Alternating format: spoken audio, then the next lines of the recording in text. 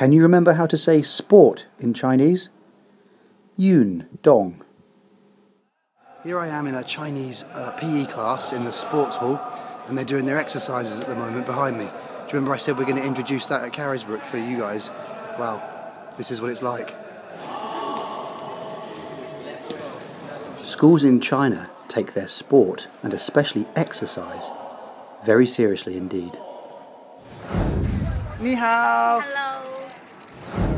In colleges such as this one in Tianjin, a lot of money is spent on the facilities.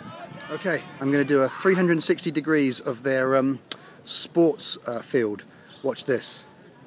Okay, yes, it's quite huge. Yes, they've got their own stand at the back there, and it goes all the way around. That's quite big. We should have learned how to say hobby in Chinese already. Ai hao. In China, football, or 足球, is a very popular hobby and we're going to spend a few moments now putting together a few sentences all about football. Football is 足球。我爱足球。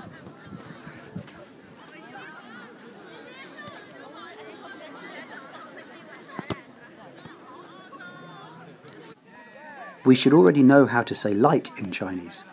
喜欢 so now we can add that to the sentence and say, I like football. 我喜欢足球。谢谢. Now, have a think about how to say, I also like football in Chinese. Also is pronounced yeah. Remember, yeah goes after I. Can you do it? 我也喜欢足球。So every day these guys run around the field lots and lots of times. Uh, they just keep going. They run miles and miles and miles. It's it's part of their PE lessons. They do it at lunch times if they come. Look at this. And uh, yeah, we're going to do that at Carisbrooke soon.